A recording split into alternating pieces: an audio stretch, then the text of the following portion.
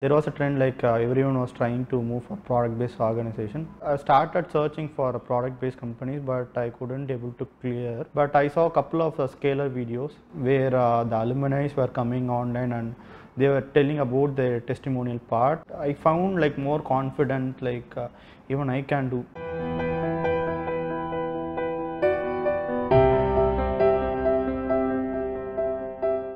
Venoth. So I'm born and brought up in Chennai itself. So in my free time, uh, I used to play cricket a lot.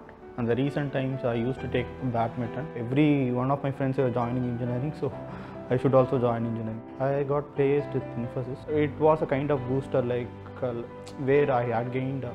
Uh, interest towards the technology. So uh, unfortunately, I don't have that kind of uh, mentor where I couldn't I couldn't find it in my family circle or a closer family circle. There is a particular structure in Scaler because uh, if at all you need to learn one topic, there is a prerequisite like uh, you need to be stronger on that topic during my college days or uh, uh, pre-Scaler days, right?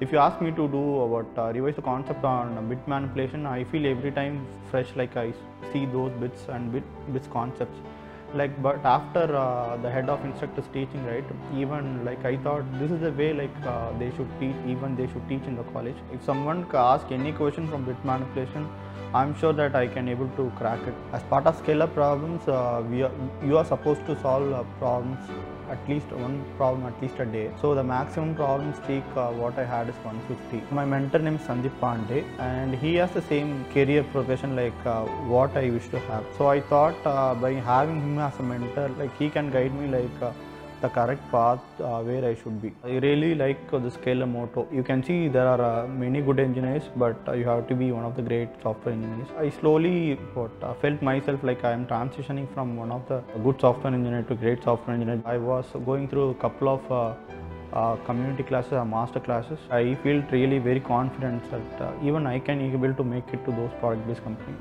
Wherever I go for interview, for example, I have the interview. So I approach the same problem and like uh, how Chitil taught me. The interviewer itself, uh, they would really love your approach, like how you solve the problem. I got a call from uh, Scaler himself and they asked me like uh, they have an opening for full stack developer in PayPal, which is in Bangalore. After a couple of days, I got a call from them and they said like uh, the location is not Bangalore. Would you like to opt for Chennai? I said why not?